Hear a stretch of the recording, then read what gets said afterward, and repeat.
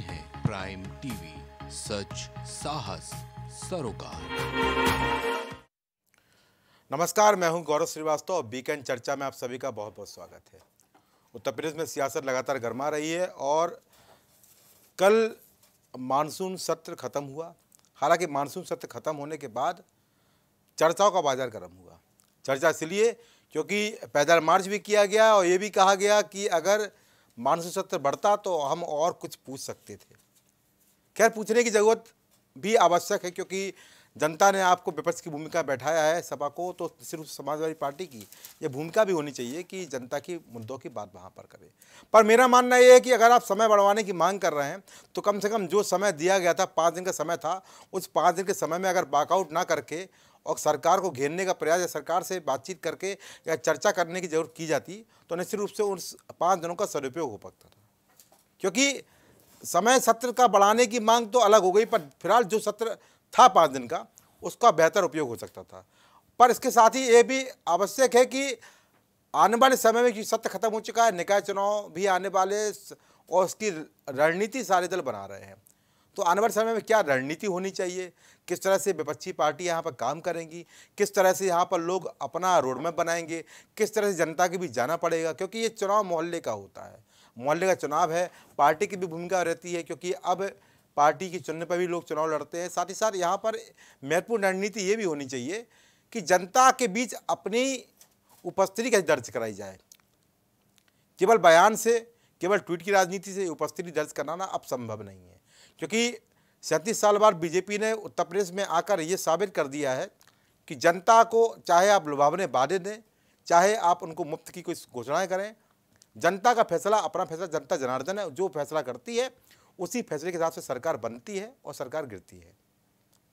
यहाँ पर ज़िम्मेदारी किसकी है? यहाँ पर बात किसकी है? यहाँ पर भूमिका किसकी है?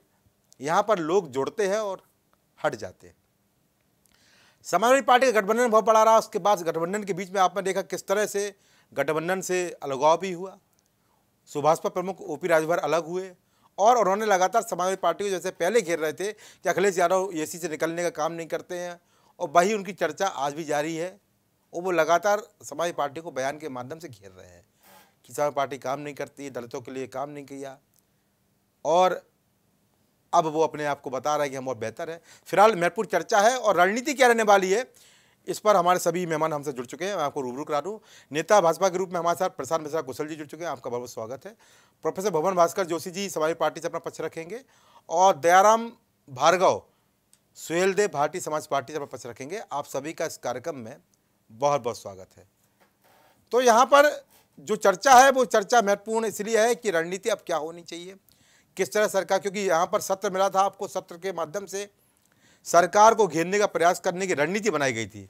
पर बाकआउट, वॉकओवर और स्थगन के चलते उतना बेहतर नहीं हो पाया जिसकी हम उम्मीद लगा रहे थे, जिसके हम विचार कर रहे थे कि यहाँ पर विपक्ष तगड़ी राजनीति के साथ, क्योंकि बैठकें चल रही थी। बैठकों का दौर जारी था और उन बैठकों से ये साबित हो रहा था कि इस बार मानसून सत्र में खासा हंगामा होने वाला है। पर मानसून सत्र स्वास्थ्य सेवाओं और तमाम महिला संबंधी मुद्दों पर, एक दिन महिला के मुद्दे पर बात करने की यहाँ पर समय दिया गया था। उसको लेकर यहाँ समाप्त हो गया। मानसून सत्र की उपयोगिता जो सोची गई थी, वो नहीं हो पाई। विपक्ष की रणनीति यहाँ पर जो विपक्ष करना चाहता था, वो नहीं हो पाया। पर साथ ही साथ यहाँ पर महत्वपूर्ण ये भी है कि अब आने वाले समय में रणनीति क्या रहेगी? तो पहला सवाल हमारा रहेगा, प्रवक्ता सपा से रहेगा। जोशी जी, सत्य खत्म हुआ। पैदल मार्च के माध्यम से जनता के बीच उपस्थिति दर्ज कराई गई। और ये भी बताया गया कि सत्र अगर बढ़ता तो हम और कुछ भी मांग रख सकते थे। और अखिलेश यादव, जो कि सपा के प्रमुख, उनका कहना यह भी था कि सरकार ने हमारा जवाब नहीं दिया। हमारी बातों को घुमाते रहे, जवाब नहीं दिया। इसके चलते हमने बाकआउट किया। अगर वो हमारी बातों का जवाब देते या स्वस्थ चर्चा विधानसभा सत्र में करते तो निश्चित रूप से सत्र चलता और हम उसमें बाकआउट नहीं करते। पर आने वाले समय में रणनीति क्या रहने वाली है? क्योंकि अब 24 चुनाव भी पास में है और निकाय चुनाव भी लगभग लगभग करीब है। क्या रणनीति के साथ जाएँगे? जी। देखिए जैसा कि सदन के प्रारंभ में जब विपक्ष का नेता माननीय अखिलेश यादव जी बने थे तो उन्होंने कहा था कि समाजवादी पार्टी जनहित के मुद्दों पर हम्म। सड़क से लेकर सदन तक संघर्ष करेगी। जी। और जो उन्होंने तीस करोड़ उत्तर प्रदेश की महान जनता को जिन्होंने हमें महान विपक्ष बनाकर भेजा है जी। मज़बूत विपक्ष बना के भेजा है। उनके प्रति हमारी जवाबदेही बनती थी। जी। और निश्चित तौर पे ये उत्तर प्रदेश की महान जनता देख रही है। कि माननीय अखिलेश यादव जी जो कहते हैं और वो करके दिखाते हैं। जी। पार्टी के हमारे विधायकों ने प्रदर्शन करना चाहा सड़क पर पहले भी जबकि सदन नहीं चल रहा था तो हमने देखा कि पुलिस ने उसको छावनी बनाने का काम करा है। हमारे कार्यालय को ऐसे बना दिया गया जैसे वहाँ पर कौन लोग रहते हैं किस प्रकार के लोग रहते हैं इस तरह छावनी बना के एक संस एक विधायक जो होता है वो जनप्रतिनिधि होता है वो लोग प्रदर्शन करना चाहते थे लेकिन उनको सरकार ने नहीं बनने दिया। जी। अब ले उसके बाद माननीय अखिलेश यादव जी ने निश्चय किया। कि हम लोग अपने कार्यालय से लेकर शांतिपूर्ण तरीके से एक पैदल मार्च करेंगे। जी। और उसमें हमारे विधानसभा के जो सदस्य हैं और विधान परिषद के सदस्य हैं वो माननीय अखिलेश यादव जी के नेतृत्व में जी। एक विधान भवन जाएँगे। जी। लेकिन जब सरकार को लगा कि इनको जनता का बहुत ज़्यादा समर्थन मिल रहा है तो सरकार चूँकि हर मोर्चे पे फेल हो चुकी है चाहे वो महँगाई का हो बेरोजगारी का हो चाहे आप देख रहे हैं जो सुरक्षा महिला सुरक्षा का हो और परीक्षाएँ लीक का एक वातावरण आप देख पा रहे हैं और लगातार आप देख रहे हैं विद्यार्थी परेशान है फ़ीस वृद्धि से। चार गुनी फ़ीस वृद्धि हो गई है इस पर लगातार समाजवादी पार्टी सड़क से लेकर सदन तक संघर्ष कर रही है। तो निश्चित तौर पर सड़क में न तो सड़क में हमारा जवाब दे पा रही है भारतीय जनता पार्टी न सदन में हमारे सड़क पर अभी सड़क पर आए क्या भैया? सड़क पर तो अभी पैदल मार्च में आए हैं। जोशी जी उस दिन 19 मार्च का प्रयास किया गया था बनरेबाग चौराहे पर रोक दिया गया था और कल विधानसभा से सत्र खत्म जब वॉकआउट किया उसके बाद यहाँ पर आए। इसके पहले सड़क पर दिखे नहीं नज़र नहीं आए। कहाँ पर संघर्ष किया? भैया अभी बता दीजिए मैं आप, मैं आपको मैं मैं आपको बताना बताना चाहता हूँ जब से योगी सरकार बनी है जी। तब से माननीय अखिलेश यादव जी लगातार उन घरों को उन उन परिवारों को आँसू पोछने का काम कर रहे हैं जो वो योगी सरकार द्वारा पीड़ित वो जा रहे हैं वो तो उसमें दो राय नहीं जा रहे स्तर पर भी कितने लोगों की मदद जी, जी। पार्टी स्तर पर भी लोगों की आर्थिक मदद करने का काम माननीय अखिलेश यादव जी ने करा है। जबकि ये ज़िम्मेदारी सरकार की होती है। अच्छा। तो निश्चित तौर पर ऐसा नहीं की हम सड़क पे नहीं हम सड़क से लेकर सदन तक संघर्ष कर रहे हैं। हर उस आँसू को पोछने का काम अखिलेश यादव पर समाजवादी पार्टी की यूएसपी होती थी वो अब तक नज़र नहीं आ रही है। जोशी जी जो समाजवादी पार्टी खासिर उतरी की सड़क पर संघर्ष करने की, लड़ने की, अपनी बात कहने की, वो रणनीति नज़र नहीं आ रही अब तक। भाई आप ही कह रहे हैं कि हमको नजरबंद कर दिया गया, हमको रोक दिया गया और हम इसलिए कुछ कर नहीं पाए, जो चौदह मार्च, चौदह सितंबर की बात की जा रही है। देखिए मैं आपसे कहना चाहता हूँ जब से ये सरकार बनी है ये सरकार लोकतंत्र के जो अधिकार है हमारे उनका हनन करने की कोशिश कर रही है चाहे वो आम जनता हो चाहे जाति विशेष हो चाहे धर्म विशेष हो। इसीलिए राष्ट्रीय अध्यक्ष माननीय अखिलेश यादव जी कहते हैं कि लोकतंत्र और संविधान खतरे में इस लड़ाई को लड़ने का काम भी अगर उत्तर प्रदेश में कोई कर रहे हैं तो हमारे नेता माननीय अखिलेश यादव जी कर रहे हैं। अच्छा। निश्चित तौर पर आप ये देखेंगे हमने मांग करी है कि सदन का समय बढ़ाने की मांग करी है। अच्छा। अगर ये नहीं पूरा भी होता तो आगे आप सदन में देखेंगे और सड़क में देखेंगे लगातार पर समाजवादी आपके- पार्टी एक मज़बूत विपक्ष की पर भूमिका। आप पर आपके एक साथी तो लगातार आपको घेरने का प्रयास कर रहे हैं। पुराने साथी थे आपके साथ सुभाषपा वाले ओम प्रकाश जी। लगातार वो अब वो बयानबाजी कर रहे हैं आपको कटघरे में खड़ा कर रहे हैं लगातार। क्या मानते हैं भाई? आपके पुराने साथी देखिए मैं मैं ये बताता हूँ। जब वो हमारे आज हमारे साथ नहीं है हम्म। आज जो जनता उनको देख रही है कि जनता ने उनको वोट क्यों दिया अच्छा। जनता ने उनको वोट दिया जो उनके सीट आई छह सीटें आई हाँ। तो वो इसलिए आई कि आप विरोध में थे योगी सरकार के आप विरोध में थे अच्छा। आपका दायित्व बनता था कि आप सड़क पे दिखाई देते सदन में दिखाई देते विपक्ष में दिखाई देते लेकिन चूँकि अपनी आपकी महत्वाकांक्षाएँ व्यक्तिगत है अच्छा। आपको व्यक्तिगत महत्वाकांक्षाएँ तीस करोड़ जनता से ज़्यादा महत्वपूर्ण है तो अच्छा। निश्चित तौर पर आपको क्या कुछ कहते हैं हम लोग इस पर कोई चर्चा भी नहीं करते अच्छा। ना कोई कुछ कहते क्योंकि वो सुबह कुछ कहते हैं दोपहर में कुछ कहते हैं रात को कुछ अच्छा। कहते हैं। और अगर माननीय अखिलेश यादव जी की बुराई करने से किसी की पार्टी चलती है हाँ। तो हमें कोई दिक्कत भी नहीं है। करते रहे हैं ठीक है। हमारे साथ प्रधान मिश्रा भाई भाजपा से जुड़े हुए हैं। प्रधान भाई इनका कहना है कि हम संघर्ष करते नज़र आ रहे हैं और चूँकि भाजपा जवाब नहीं देती है इसी संघर्ष करना पड़ा और वॉकआउट करना पड़ा पर आगे क्या रणनीति रहने वाली? कौन चुनौती बनेगा आपके लिए निकाय चुनाव में? हाँ, गौरव जी सर्वप्रथम आपको धन्यवाद इस कार्यक्रम में आमंत्रित करने के लिए। हमारे जो सपा के मित्र हैं उन्होंने माननीय अपने नेता की बहुत सारी बातें कही। निश्चित रूप से उनकी पार्टी के विधायकों द्वारा अखिलेश जी के द्वारा ये सदन चलाया जाता है जनता के कल्याण के लिए जनता के कल्याण को लेकर चर्चा करने के लिए। लेकिन समाजवादी पार्टी के नेतृत्व ने समाजवादी पार्टी के नेता ने सदन का वॉकआउट करके, सदन के बाहर जिस प्रकार का विरोध उन्होंने चर्चा में ना भाग लेकर उत्तर प्रदेश की जनता का अपमान किया है। इसके लिए तो अखिलेश यादव जी को प्रदेश की जनता से माफ़ी मांगनी चाहिए। अच्छा। प्रदेश का प्रदेश की सत्ता पाने का पाने के बाद भारतीय जनता पार्टी लगातार जनता के हित के लिए कार्य कर रही है।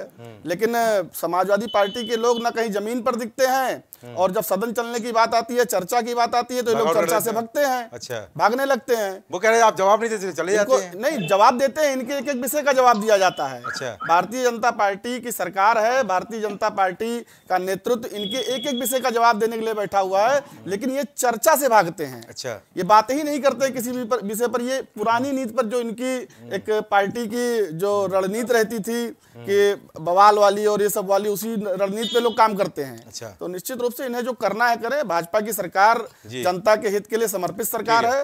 और सदन चला। सदन में महिला कल्याण को लेकर के जनता के कल्याण को लेकर के लगातार भारतीय जनता पार्टी ने कार्य किया है और उस पर आगामी आगामी आने वाले समय में आपको रिज़ल्ट भी दिखेगा। ठीक है। प्रवक्ता सुभाष पास दयाराम भाई भाई यहाँ तो सपा प्रवक्ता बोल रहा है कि आपके नेता सुबह दूसरा दोपहर में तीसरा और रात को बयान देते रहते बदलते रहते बयान। उनके कह रहे बयान बयान को तवज्जो नहीं देंगे। अगर उनको हमारे नेता अखिलेश यादव के प्रति बयान देकर खुशी मिलती है तो बयान देते रहें। पर सबसे बड़ी बात यहाँ पर दयाराम भाई ये भी है कि अभी हाल में जानकारी मिली है कि सुभाषपा से कई नेता जो पहले भी अभी इस्तीफा दिए तो उसके बाद अब फिर इस्तीफा दिए हैं। और माना जा रहा है कि एक नई पार्टी गठन करने की तैयारी चल रही है। ऐसे कोई ऐसी कोई जानकारी मिल रही है आपको भी? किस तरह रणनीति बनाएँगे आने वाले समय में? सपा अलग हो चुके हैं। जी। हमारे सपा के जो साथी हैं जी। उन्होंने बहुत सारी बातें रखी। जी। एक बात मैं क्लियर कर दूँ। जी। इन्होंने कहा कि हमारे साथ आए हाँ। भाजपा की इन्होंने बुराई करी इनके छह सीट आए। अच्छा। माफ़ करना मान्यवर जी। जी। आप 2017 में जब चुनाव लड़े थे हम्म। तो आपकी चौवालीस सीट आई। जी। 2022 में जो भारतीय समाज पार्टी के गठबंधन के साथ आए आप पश्चिमांचल लड़े। जी। आप मध्यांचल लड़े। जी। आप बुंदेलखंड लड़े। जी। आप इन तीनों का खंडों का इकट्ठा कर लो जब पूर्वांचल में आप आए तब इसका आप आंकड़ा लगा लेना। जी। उसके बयानबाजी करिए। जी। हमारे साथी सपा के ने कहा कि राजभर जी घंटों में जो है सुबह कुछ शाम को कुछ हाँ कहते हैं। यही कह रहे हैं भैया। तो। तो सुबह और शाम कुछ कहते हैं। हम्म। समाजवादी पार्टी मुखिया के नेता और उनके नवरत्न मिनटों में बदलते हैं। अच्छा। उसका कारण बता देता हूँ। हम्म। 2022 का विधानसभा का चुनाव। हम्म। आदरणीय नेता ओम प्रकाश राजवी माननीय अखिलेश यादव से कहते रहे लड़ते रहे हम्म। कि कश्यप को सीट दे दीजिए। हम्म। बंजारा को दे दीजिए हम्म। पहलिया को दे दीजिए हम्म। अर्कबंसी को दे दीजिए चौहान को दे दीजिए प्रजापति को दे दीजिए हम्म। बिंद को दीजिए बिहार को दीजिए। तो इन जातियों को तीनों जगह लड़ाते रहे और नेताजी लड़ते रहे। ये हाँ हाँ करते थे और मिनटों में बदल जाते थे। अच्छा। तो ये तो मिनटों में बदलने वाले लोग हैं। और दूसरी बात और इसके बाद इन्होंने कहा हम्म। सदन से वॉकआउट जो करने का हम्म। हम आपके माध्यम से इनसे पूछना चाहते हैं। हम्म। सदन की कार्रवाई चार दिन की जब निहित हुई थी हम्म। तो उसमें अपने क्षेत्र के जो समाजवादी पार्टी के विधायक हैं हम्म। वो अपने क्षेत्र की समस्या को वहाँ पुटअप करने का था कि लखनऊ के सड़कों पर धरना प्रदर्शन के लिए जी। उत्तर प्रदेश में बिजली इतनी महँगी हो गई है हम्म। क्या विपक्ष होने के नाते सुहेल देव भारतीय समाज पार्टी तो सदन में उठा रही है। जी। छह विधायक हैं हम उठा रहे हैं। जी। लेकिन 111 विधायक वाली समाजवादी पार्टी क्यों सदन से वॉकआउट करती है? जी। आज उत्तर प्रदेश में पिछड़ी जात को छात्रवृत्ति नहीं मिल रही है। अच्छा। तो क्या समाजवादी पार्टी के मुखिया को जानकारी नहीं है? जी।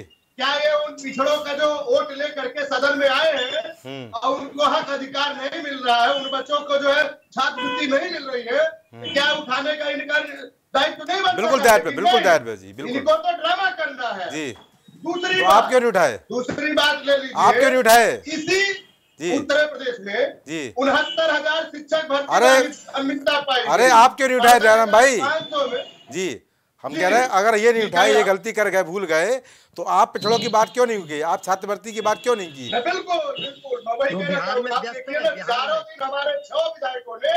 अपने क्षेत्र के अपने विधानसभा की समस्या को उठाया है हम्म। एक विधायक हमारे बेदी राम है अच्छा उन्होंने कहा है हम्म। कि उनके क्षेत्र में अस्पताल जो है जिला स्तरीय अरे आप जो जो मुद्दे बता रहे हैं उसकी बात करिए क्षेत्रीय समस्या नहीं जो आपने कहा छात्रवृत्ति वाली बात कही बिजली वाली बात कही आपने कहा कि पिछड़े तबके को यहाँ परेशान हो रहे हैं उसकी बात आपने कही आपने उनहत्तर हज़ार भर्ती की बात कही तो ये विषय आपके द्वारा उठाए गए हाँ या ना ये बताइए बिल्कुल उठाए आप अच्छा। उठा के देखिए कुछ जगह और में अच्छा उठाएँगे अच्छा और माननीय मुख्यमंत्री ने आश्वासन दिया। अच्छा। कहा भी उन्होंने अच्छा। है करवा लेते हैं जी और उन्होंने आश्वासन दिया है जी। अगर ऐसी कोई समस्या है जी। इसका हम तो, निवारण तो आपने विपक्ष की तो जरा भाई आपने विपक्ष की भूमिका निभाई पर समाजवादी पार्टी 111 विधायक ऐसा भूमिका नहीं निभा पाई। यही कहना चाहते ना आप? नहीं बिल्कुल नहीं भाई अच्छा। इनको चार दिन का समय मिला था आप कम कम सरकार के घेरो। सरकार की समस्या के बाद क्वेश्चन आवर करो अपना सुनो लेकिन वो प्रश्न करने के बजाय आप रोड पे चले जाते थे अच्छा अच्छा ठीक है। चल ठीक है। सर वो तो जवाब ले लूँगा। रणनीति कैसे बनेगी भाई? आपकी पार्टी में तो लोग छोड़ छोड़ के जा रहे हैं और सुनने में आया कि रणनीति नई पार्टी गठन भी होने जा रहा है। और पोस्टर भी लगाए जा रहे हैं। बताया आपको जानकारी है कि नहीं है इस बात की? जी।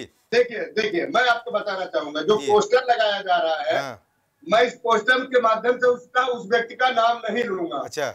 वो पहली बात तो सुहेल भारतीय समाज पार्टी का कभी सदस्य नहीं रहा पार्टी की बात छोड़ दीजिए। अच्छा। वो आज भी भारतीय जनता पार्टी के राजभर समाज के कैबिनेट मंत्री है मैं उनका भी नाम लेना चाहूँगा। हाँ। उसकी वकालत किया करते थे वो। वो अच्छा। शख्स जो पोस्टर लगा रहे हैं। अच्छा। और आज वही शख्स उनको भी गाली देता है इनको भी गाली देता है। अच्छा। तो ये इस तरह का जो राजनीति लोग करण कर रहे थे वो सुहेल भारतीय समाज पार्टी का या तो उससे आप लाइन में ले लीजिए। ये पूछवा दीजिए कि सुहेल भारतीय समाज पार्टी का कभी पदाधिकारी या वो सदस्य रहा हो। तो मैं अच्छा। उसको मानू तो आप खंडन तो आप खंडन करते हैं। तो आप खंडन कर रहे हैं इस बात का ना? खंडन करते ठीक है।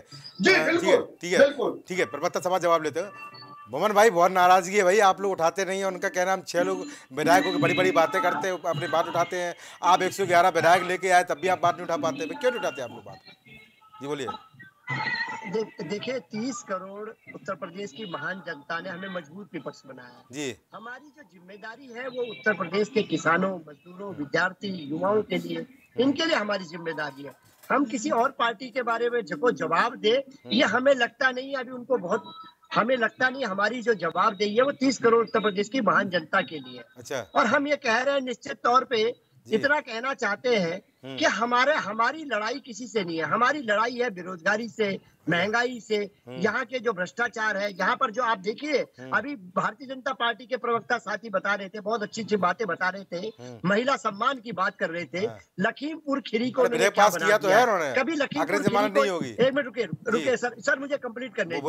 लखीमपुर खीरी को अगर याद किया जाता है तो किसानों की हत्या के लिए याद किया जाता है। हाँ। इसके लिए याद करा जाता है की हमारी हमारी एक बेटी की ने वहाँ आत्महत्या कर ली? इस बात के लिए याद किया जाता है। इस बात के लिए जाता जा, याद किया जाता है कि लखीमपुरी का सांसद जो है कहता है कि ढाई किसान नेता को कहता है कि ढाई ढाई कौड़ी की जिसकी औकात है दो कौड़ी की जिसकी औकात है।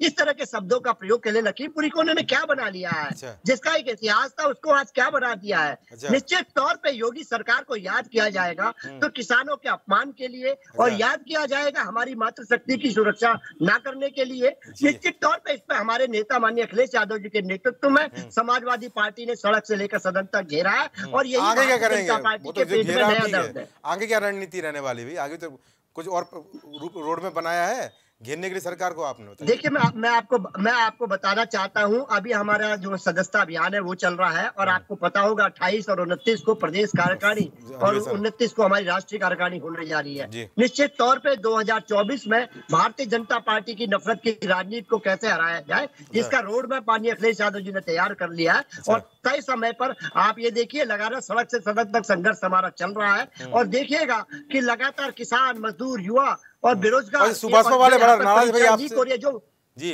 तो सुभाषपा वाले जयराम भाई बड़े नाराज़ लग रहे हैं आपसे। बोल रहे हैं भाई हमारे हमारे कारण बोल रहे हैं हमारे कारण सीटें आई है। भाई इनका कहना ये है कि सत्रह में। सैतालीस सीटें आई थी। मैं मैं मैं कभी इस तरह की बातें नहीं कर ले करना चाहता लेकिन 2019 में ये अकेले लड़े थे। अच्छा। 2019 में ये लोकसभा का चुनाव अकेले लड़े थे। इनकी स्थिति अभी चुनाव आयोग के पोर्टल पे आप चले जाइए इनके कितने वोट परसेंटेज पड़े ये उठा के देख ले। इनको कहना चाहता हूँ कि राजनीति में शायद अभी इनकी उम्र कम है। अच्छा। मैं सत्ताईस साल से राजनीति में हूँ और ये पहले किसी पे उंगली उठाने से पहले चार इशारा इनकी करते हैं। निश्चित तौर पे हमारे तो हमारे तो पाँच सांसद आए। आपका खाता भी खुला है। और दस रहा हमारे सहयोगी आप आए थे 27 की इसमें। बात कर रहे हो भाई। निश्चित तौर पे? आप- जी। तुम 32 साल से राजनीति और जो हो, लड़ाई उत्तर प्रदेश में इनको लड़नी चाहिए थी। कल मैं इनके चाह रहे नेता का बयान सुन पा रहा था इनके नेता कह रहे थे कि मैं बिहार में नीतीश कुमार के रथ को रोकूँगा। आप बताइए उत्तर प्रदेश से इनको छह विधायक दिए ये बिहार में रथ रोकेंगे। ये किस तरह के हास्यपद राजनीति पर आ गए? मेरे को तो कहते अच्छा है उनकी मेहनत कर रहे हैं। रोज रोक सकते हैं भाई क्या दिक्कत है? आपको समस्या क्या है भाई? अगर बिहार में जाके संगठन बढ़ा रहे हैं। भाई आप मेरी बात तो सुनिए। यहाँ ना सड़क में दिखाई दे रहे ना सदन में दिखाई दे रहे। हैं बिहार में कहा रथ रोकेंगे? यहाँ तो पार्टी समझ नहीं जवाब- जवाब। लेता, जवाब लेता। पता नहीं क्या बड़ा लंबा हंस रहा है भैया बड़ा लंबा हंस रहे हैं। जयराम भाई जवाब दीजिए। बोलना है कि देखिए। हाथ से पर बयान कर रहे हैं बोलिए। बोलिए देखिए मैं यही तो कह रहा हूँ समाजवादी की जो है ना कथनी करनी में ही अंतर है। अच्छा। ये लोग बोलते बोलते कहाँ पहुँच जाते हैं? हम्म। पता ही नहीं लगता। जब सदन में बात आई थी तो अखिलेश यादव जब अपने विधायकों के साथ बाहर हो गए। हम्म। और वहाँ सदन में चर्चा नहीं किए ये लंबी लंबी बातें झाड़ रहे हैं कि हम सत्ताईस साल से। भाई एक बात बताइए उत्तर प्रदेश में समाजवादी की चार बार सरकार रही मैं दयाराम जी की बात से सहमत हूँ। आप किसानों को कितना बिजली का बिल माफ़ किए? छात्रों को जो नौकरियाँ देने की बात आई अभी मैं इनसे जानना चाह रहा हाँ। अरे मैं सहमत हूँ जयराम जी की बातों से। जयराम जी ने समाजवादी पार्टी को आईना दिखाने का काम किया है। सरकार से जवाब ओम प्रकाश राजभर जी ने सपा को आईना दिखाने का काम किया है हमसे मत पूछो। छह साल से है। अरे भैया बताइए। कम से कम इतनी- अरे ठीक है ठीक है हो गया हो गया। हो गया हो गया। करोड़ उत्तर प्रदेश की जनता आपको रही है। अरे ये बताइए अरे दयाराम भाई। जवाब सपा से दयाराम भाई ये बताइए। अरे हो गया हो गया हो गया। दयाराम भाई ये बताइए ये प्रवक्ता सपा बोल रहा है जोशी जी कि आप लोग बिहार में नीतीश कुमार का रथ कैसे रोकेंगे? और ये बोल रहा है कि आप लोग हंस पर बातें करते हैं। जी। इनको पता नहीं है। हम जी। 2020 में भी चुनाव लड़े थे बिहार में। जी। पाँच सीटों में पाँच सीटों में लड़े थे गठबंधन में लड़े थे। जी बताइए मैंने जानकारी रख ले। जी। हम दो हज़ार इक्यानवे में पंद्रह में भी लड़े थे। जी। हम उन्नीस में लोकसभा चुनाव भी लड़े थे। इनको जानकारी नहीं है। जी। जब इनको जानकारी हो ये पार्टी का अगर कार्यकर्ता हम जानकारी रखे। पहले। तो जानकारी रखे हम बिहार में है चले ठीक है। बिहार में हमारा संगठन में है बिहार में हमारे भैया रोकेंगे भैया। जोशी जी रोकेंगे, सा रोकेंगे। भैया आप मुस्कुराइए मत। हर आदमी की संगठन है। आपका भी कई राज्यों में संगठन है वो भी अगर संगठन बढ़ा रहे हैं तो इसमें इसमें कोई हास्यपद बात नहीं होनी चाहिए। हर आदमी को अपने संगठन को तो बढ़ाने का अधिकार है सदन में तो दिखाई दे कुछ। यही मैं मैं गौरव जी अरे ठीक है ठीक है। अरे अरे नेता बीजेपी कुछ बोलना चाह रहे भाई।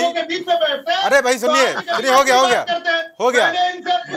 हो गया हो गया हो गया। हो गया हो गया हो गया। दयाराम भाई। दयाराम भाई ठीक है। अरे जयराम भाई सुन ली सुन ली। ठीक है हो गया हो गया हो गया हो गया हो गया। जयराम भाई नेता बीजेपी आपका समर्थन कर रहा है उनकी बात भी सुन ले जरा बोलिए। मैं दयाराम जी की बातों से सहमत हूँ। जी। उन्होंने समाजवादी पार्टी नेतृत्व को आईना दिखाने का काम किया है। यदि समाजवादी पार्टी सदन सड़क पे तो ये संघर्ष कर नहीं पा रहे हैं यदि सदन में जाकर के कम से कम अपने अपने क्षेत्रों की समस्याओं को रखें तो कम से कम उस उत्तर प्रदेश में उनके क्षेत्रों में जो विधायक चुन के आए हैं वो अपने जब भारतीय जनता पार्टी पूरे प्रदेश की जनता के लिए काम कर रही है। लेकिन कुछ ऐसे भी विषय होते हैं जो विधायक लोग सदन में जाकर के उठाते हैं और उन विषयों को विधानसभा संज्ञान में लेकर के उनके क्षेत्रों में वो कार्य कराने की बात करती है। तो ये कम से कम समाजवादी पार्टी के नेता अखिलेश यादव जी को समझना चाहिए अच्छा। कि सदन चलता है उत्तर प्रदेश की खुशहाली के लिए उत्तर प्रदेश को आगे बढ़ाने के लिए उत्तर प्रदेश की जनता के कल्याण के लिए। तो आदरणीय जो तो क्या माना नजदीकियाँ बढ़ रही है सुभाष पास नजदीकियाँ तो ये समय बताएगा की ओम अच्छा। प्रकाश जी क्या करते हैं भारतीय जनता पार्टी का शीर्ष नेतृत्व क्या करता है? लेकिन समाजवादी पार्टी मुलाकात तो चल रही लगातार नहीं तो अगर है। अगर जो सपा प्रवक्ता बता रहे हैं कि सुबह- दयाराम जी की बातों पर बार बार कटाक्ष कर रहे हैं हाँ। तो क्या सपा प्रवक्ता ये बताना चाहेंगे हाँ। कि इनका अब सुभाषपा से कोई संबंध रह गया है कि नहीं रह गया है? संबंध खत्म हो गया भाई कैसे रहा है संबंध खत्म हो गया बच्चा क्या है? वो तो मुक्ति दे दिए हैं। मुक्ति रेडी है। मुक्ति है। अच्छा मुक्ति हो गई अब तो आप लोग साथ नहीं आएँगे ना? नहीं नहीं साथ नहीं आएँगे भाई। तो मैं दयाराम जी की बातों से सहमत हूँ। कि उत्तर प्रदेश में रही बात अभी सपा समाजवादी पार्टी के हमारे नेतागण ने बात कही जी। लखीमपुर की घटना की। लखीमपुर की घटना एक दुर्भाग्यपूर्ण घटना थी। उस पर आदरणीय योगी जी ने संज्ञान लेकर के लखीमपुर में उन दोषियों के ऊपर कड़ी कार्रवाई की है और उसी को लेकर के पूरे उत्तर प्रदेश में एक नया विधेयक आया है। भारतीय जनता पार्टी महिला सुरक्षा को लेकर के महिला सम्मान को लेकर के पूर्णतया चिंतित है और उसी को लेकर के भारतीय जनता पार्टी अनवरत कार्य कर रही है। कभी इनके नेता आदरणीय मुलायम सिंह जी जो बहुत सीनियर नेता है उन्होंने कभी कहा था हाँ। कि लड़कों से गलतियाँ हो जाती हैं लड़के हैं। अच्छा। उस बात को भी सपा के नेताओं को भूलना नहीं चाहिए। अच्छा। भारतीय जनता पार्टी की सरकार में कानून का राज है और जो कानून से खिलवाड़ करेगा उसको यहाँ का उत्तर प्रदेश का कानून दंड देने का कार्य करेगा ये ये तो तय भैया जोशी जी जवाब दीजिए मैं खत्म करता बोलिए जोशी जी बोलिए। बोलिए। देखिए मैं मैं पूछना चाहता हूँ।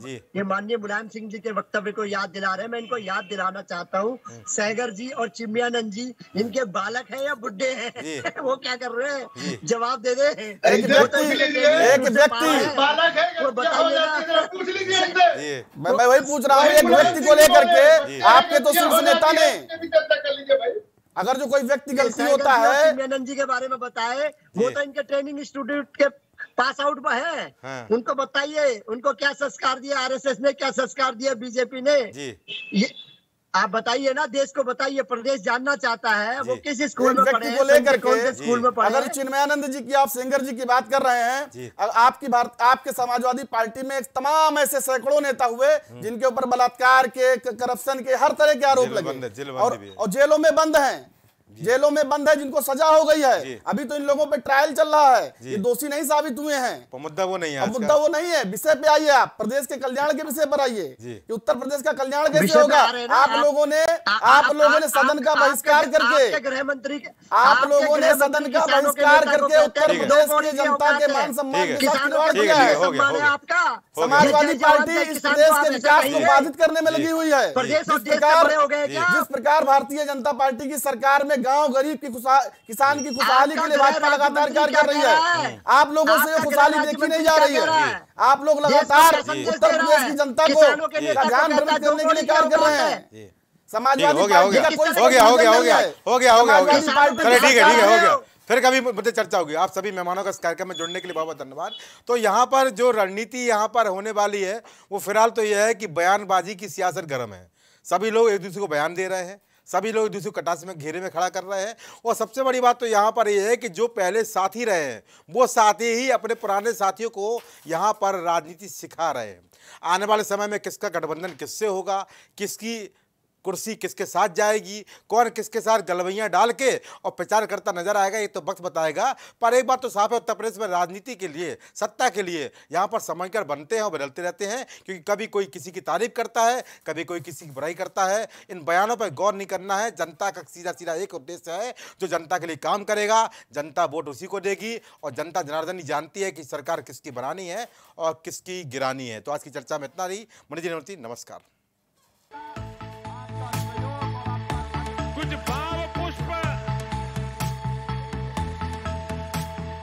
आप देख रहे हैं प्राइम टीवी सच साहस।